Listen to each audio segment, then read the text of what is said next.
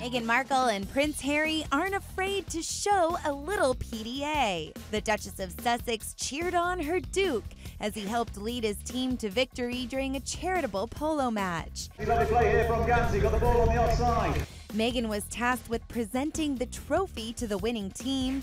Here she is congratulating the team captain with a big hug and kiss on each cheek. But the real prize was reserved for her hunky hubby. We love that these two are so affectionate. Per usual, they walked away hand in hand.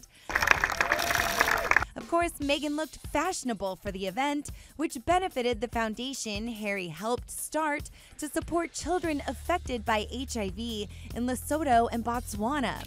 In a dark blue chambray midi by Wes Gordon for Carolina Herrera. ET caught up with her former co star Patrick J. Adams earlier this month. He joked that she's about to rule the entire world. She's coming into her power in an amazing way, and I know that her and Harry are going to do incredible things together.